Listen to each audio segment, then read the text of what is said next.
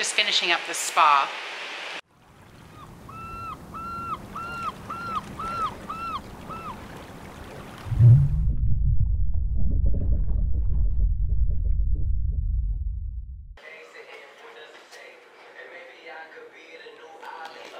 Here I am, hello, outside of the Vitality Spa on the 11th floor, and I'm about to head in um, to go for a facial. We made the reservation just yesterday, and um, just over the phone. I didn't even have to bother coming in. Made the reservation, and they said we actually started making, or I mean, the reservation was actually to start with was for a hair appointment. But then I got a voicemail yesterday saying that I had won some sort of prize $30 off a facial. So now I'm doing a facial as well. So this is the entrance to the spa. What will happen is I'll go in and I'll check in. I'll give them my cruise card. And then they'll probably lead me to the little re pre-treatment relaxation area where I'll sit for a few minutes and then um, they'll take me into the room. So I'll, I'll show you that. And here we go into the spa. These is a little um, table showing you the different kinds of treatments that they have. These are nice. These are hot rocks. What they do is they, they heat them up and they give you a massage with them and they put those on your back and it feels really good. But this right here is my favorite. This is the Thai poultice massage. So there's like herbs um, in there and they use it kind of like this on your back and it feels really good. That's my favorite one. This one is the coconut one. It's similar to that, but it's not as um, intense. There's like some sort of coconut something in there as well. And then they have this um, kind of like sugar scrub that you can take with you into the uh, rainforest shower. And then I guess these are, I've never had this one, this bamboo rollers, which would probably feel pretty good too. So let's see what we're gonna do here. Hello, how are ya? Um, I have an appointment at 9.15 for facial. 1038 is our cabin. Yes, Allison. Do you need my card? Yes, Bear with me.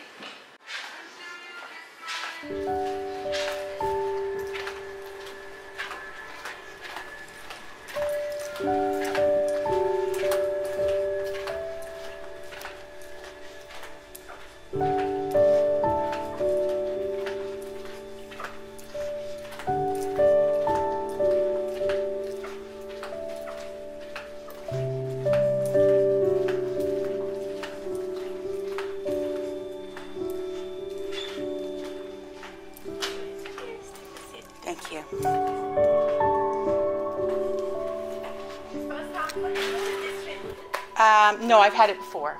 Not on this ship, though. Oh, yes. Okay.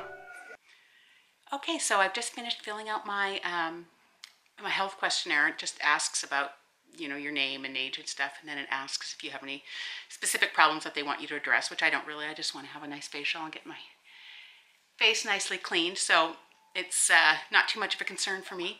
But um, now you just wait in this very relaxing atmosphere. I'm the only one here, which is why I'm doing a video. Otherwise, I would, if there were other people here, I probably wouldn't want to um, be talking out loud because it is very relaxing kind of atmosphere that you just want to be quiet and mellow out. So, but it's so far so good.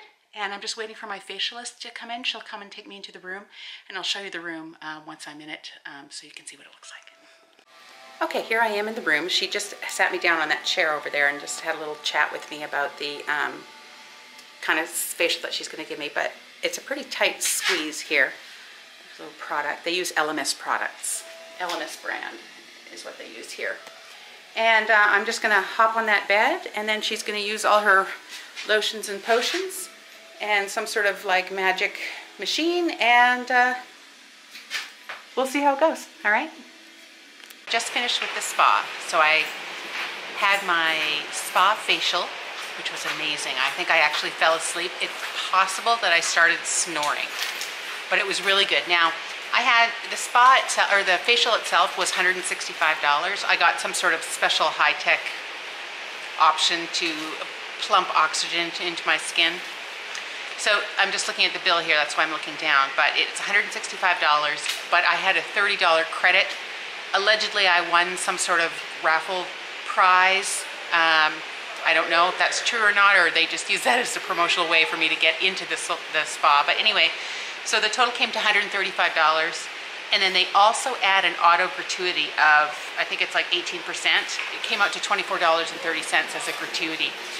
There is a blank line for you to add an additional gratuity or tip.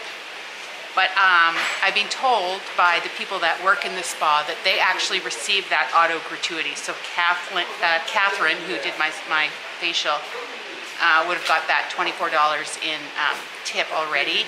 So I have tipped extra before if they did something really, really terrific or special. Um, but this was, I mean, this facial was really great and very relaxing, and I, I really enjoyed it. But it was, you know, it was kind of par for the course or what I would have expected. So I didn't tip additional. And then I, um, after my facial appointment, I had a hair appointment, and I was originally going to get um, highlights and lowlights. Um, because I missed my um, my hair appointment at home the week before we came here because we had something else going on, so I couldn't make it. Do have a barber on board and a hairstylist. Does she do highlights? Do they do highlights? Yes, we do that. So I wanted to have highlights and lowlights here, but the uh, the very nice lady in the salon was hesitant to color my hair because she um, didn't know exactly what color my um, my hairstylist at home uses.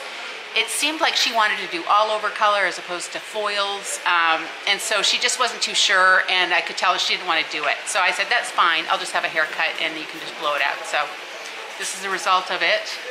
Um, she did a nice job too. That was $79.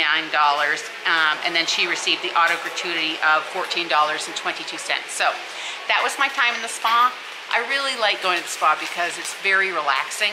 Um, even that when she was like washing and, and conditioning my hair, uh, it was super relaxing and blow drying my hair. She, so they do a really nice job and it's just like a nice little treat um, if you've got some time on the ship and just want to do something nice for yourself. So I enjoyed the spa. But that's it for now.